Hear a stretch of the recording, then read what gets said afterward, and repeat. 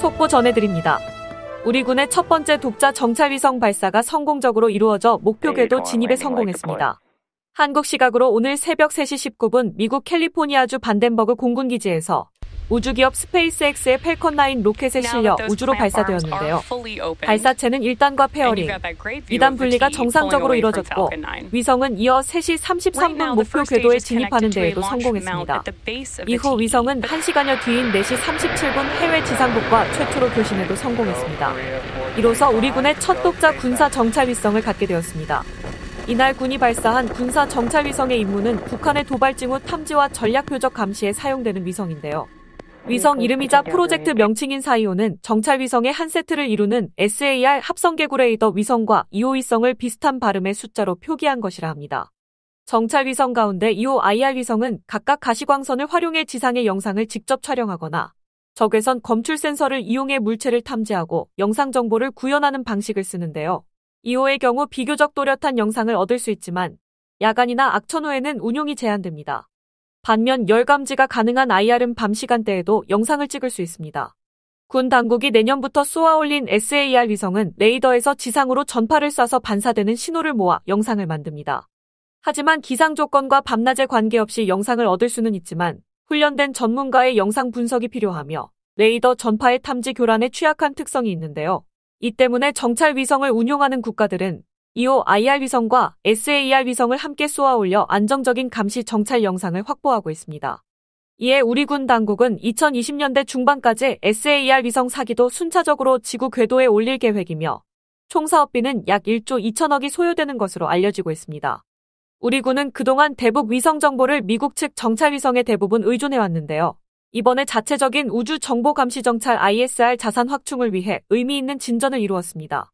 이로써 남북한이 잇따라 정찰위성 1호 발사에 성공하면서 서로를 겨냥한 감시 정찰 경쟁이 우주로까지 넓어졌습니다. 다만 우리 정찰 위성은 30cm급 물체를 식별할 수 있는 성능인데 반해 북한의 위성은 3에서 5m급으로 알려져 정찰 위성 수준으로는 조악한 수준이라 비교도 할 수 없는 성능으로 알려지고 있는데요. 연일 미군 기지를 촬영해 김정은이 보고 받는다고 뻥치는 것을 보면 측은하기까지 합니다. 국방부는 정찰 위성은 ISR 자산의 핵심 전력으로 중심 지역과 전략 표적의 도발 징후, 감시 능력 증강을 통한 킬체인 역량 강화에 기여해 적을 압도하는 국방 태세를 구축하기 위한 수단이라고 강조하며 안보 영역이 우주로 확장되고 있는 국제 정세에 대응하기 위해 국방 우주력을 강화하고 국내 위성 개발 경험 축적을 통해 우주 강국 도약의 기틀을 마련할 것이라고 설명했습니다. 이 같은 한국군 독자 정찰 위성 확보 사업은 지난 2017년 말 시작돼 내년 말까지 이어지는 장기 프로젝트인데요. 기존 다목적 실용위성 개발 경험과 민간 역량을 모아 길이 1m 미만 물체를 식별할 수 있는 서브미터급 적외도 광학 적외선 위성을 자체 개발해 우주에 올려놓았다는 데에 큰 의미가 있다고 하겠습니다.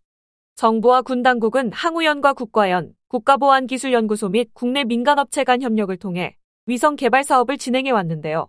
위성 본체는 국방과학연구소 주관으로 한국항공우주연구원이 위탁 개발했으며 제작은 한국항 공우주산업 카이와 위성 전문 기업인 세트레가이가 제작했습니다.